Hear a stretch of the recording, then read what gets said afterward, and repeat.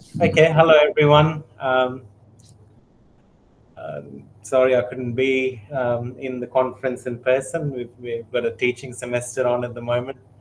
Um, so my talk's about crack growth rates and crack closure in additively manufactured stainless steels. Um, this work is a collaboration between myself and Professor Andrei Kotousov from the University of Adelaide. Um, uh, some uh, the additive manufactured steel that we've got here is manufactured using a slightly different technique to some of the previous presentations in this session.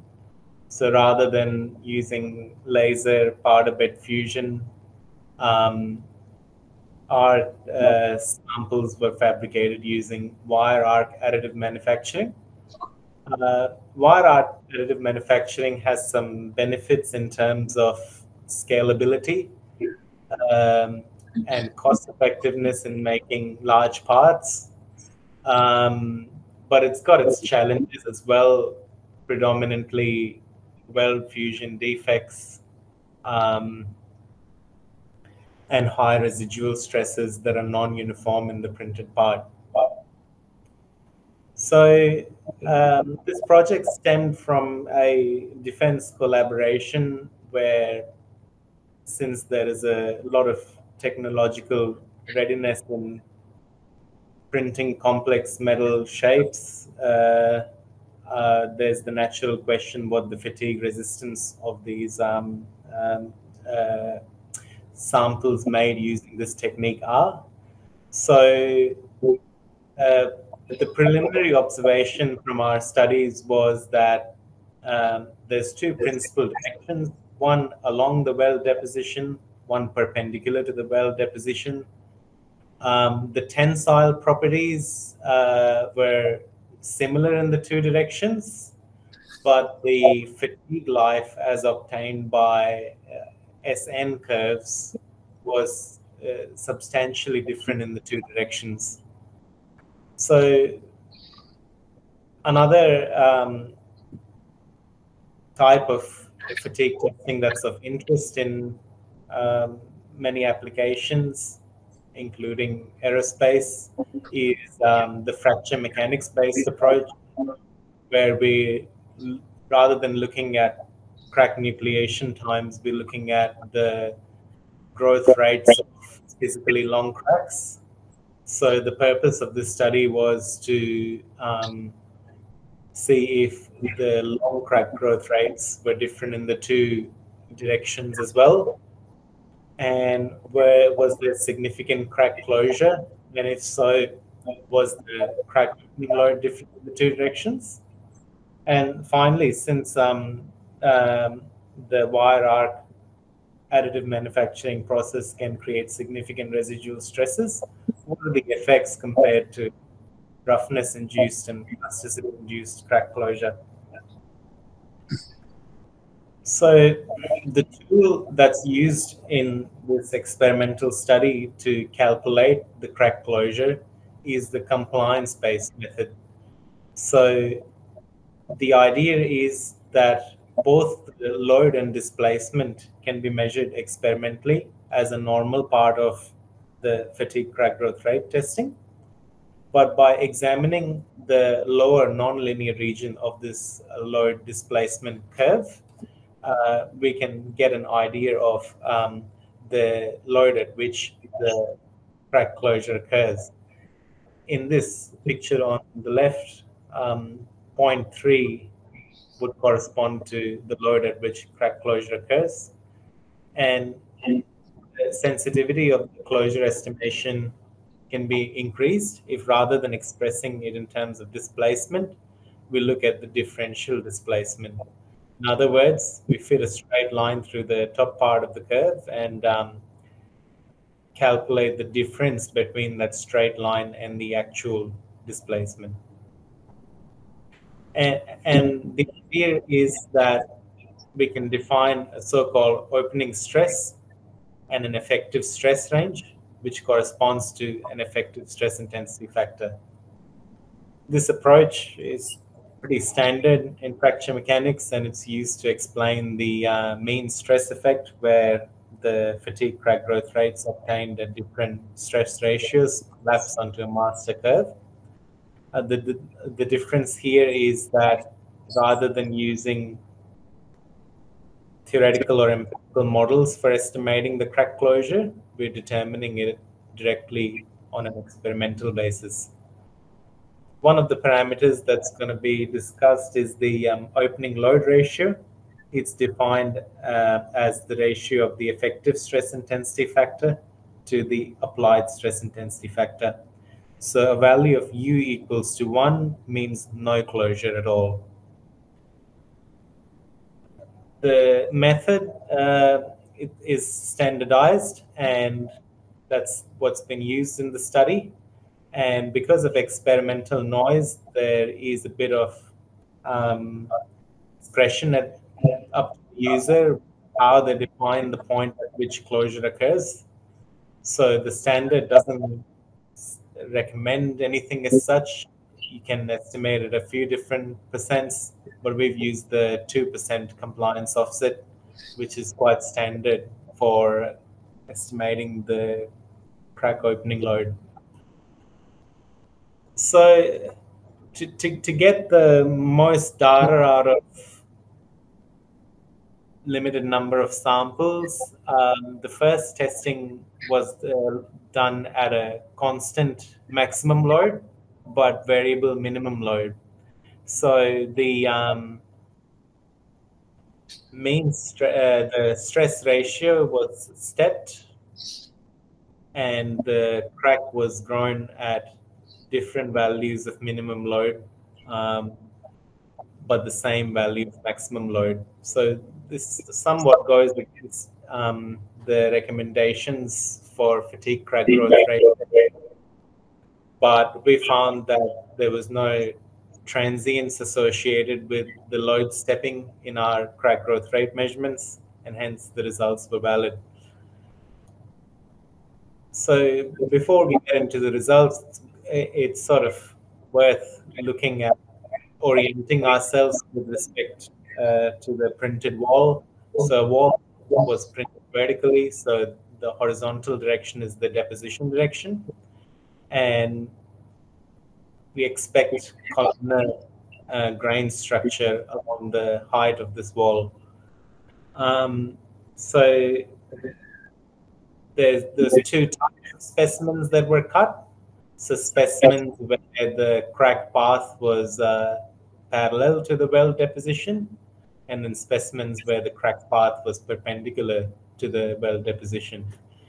Um, upon fracture, this was observed repeatedly that um, the fracture surface looked different in the two directions. Um, notably, we had this fibrous um, surface for crack growth perpendicular to the deposition corresponding to the um, columnar grain structure. We also noticed that um, there was shorter pre-cracking time and life overall for crack growth perpendicular to weld deposition. So first summarizing the um, results for crack growth rate versus applied stress intensity factor range, we noticed that the um, mean stress effect is less evident for crack growth perpendicular to the weld deposition, but also notice that the critical SIF which failure occurs, which is related to the fracture toughness of the material, seems to be more or less the same for the two direction. And that somewhat makes sense because the yield strength and the ultimate tensile strength for the two directions were the same. So it also makes sense that the fracture toughness would also be um, similar. Now, the hypothesis was that this uh, lack of mean stress effect in the perpendicular direction had something to do with the residual stresses distribution in the plate. Um, so there's this idea of how residual stresses affect fatigue crack growth. It's been around for over 20 years now. That um, the residual stress intensity factor essentially gets superimposed on the cyclic stress intensity factor, where we uh, assume uh, superposition applies to linear systems, which means we add its effect to K max and K opening, but we don't add its effect to K minimum.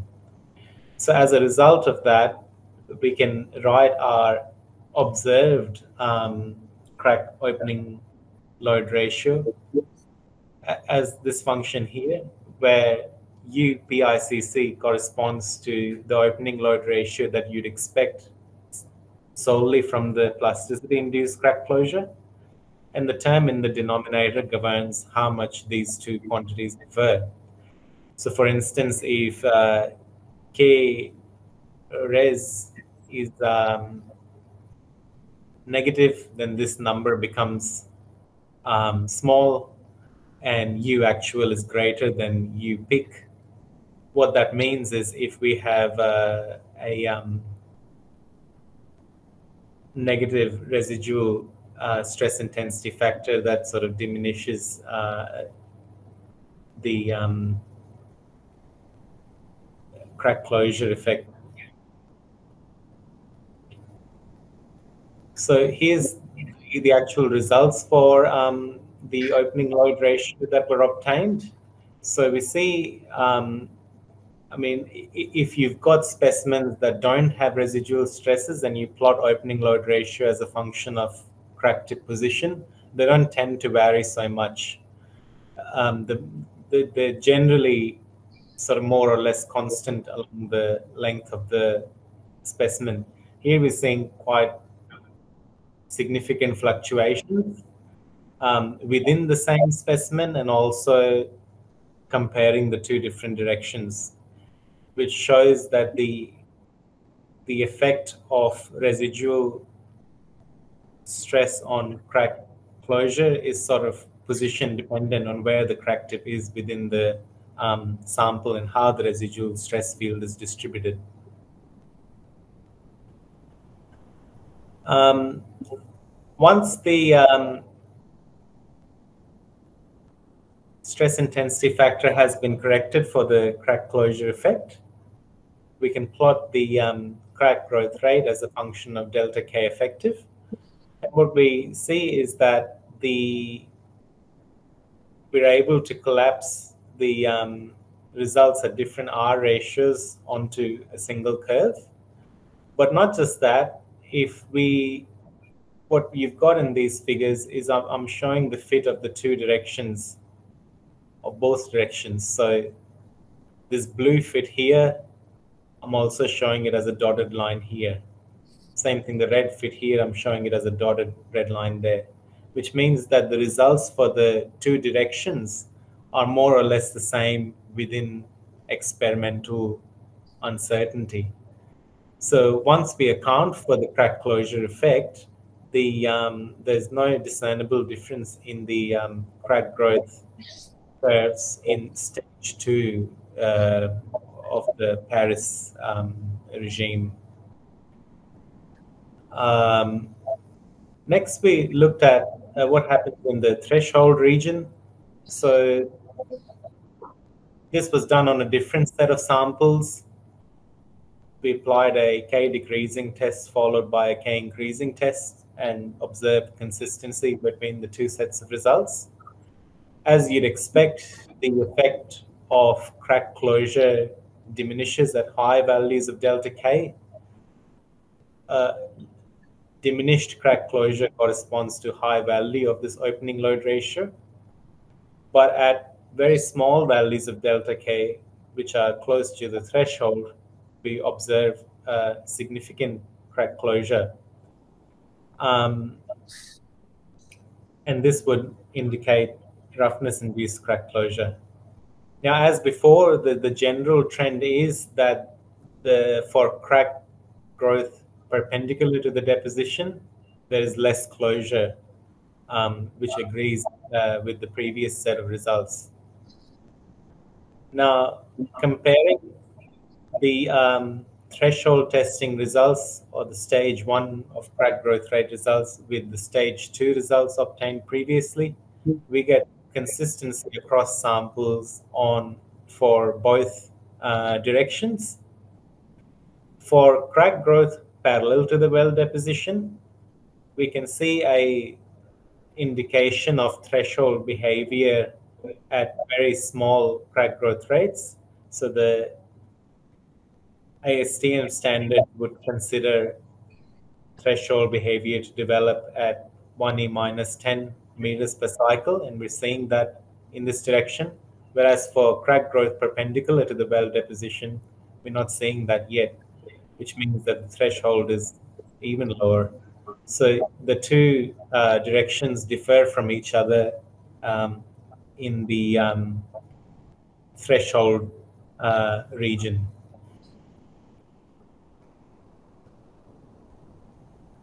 Now, those results presented previously were plotting the crack growth rate versus the um, effective stress intensity factor, but we can also plot it against the applied stress intensity factor. Um, and here the uh, blue data shows crack growth parallel to the weld deposition and the red data shows crack growth um, perpendicular to the weld deposition. Uh, something to note that if we're looking, if we're ignoring the crack closure effect, and if we only want to talk in terms of applied loading, then at small values of delta K, um, the blue data points which correspond to crack growth parallel to the or longitudinal to the belt deposition direction have a higher rate. Um, and that the reason I'm mentioning this is because it relates to um, the um, SN testing done previously. So the um, SN tests, the life is dominated by nucleation and short cracks, which somewhat corresponds to a um, small delta K uh, regime. And here we saw that samples that were cut longitudinally had a higher life. And if a sample is cut longitudinally, the cracks would be growing transversely, which means that higher life is obtained for transverse crack growth, which is something we also see here that lower crack growth rates are observed for transverse crack growth. However, this effect diminishes at higher values of delta K. In other words, for long cracks, this effect is not so strong.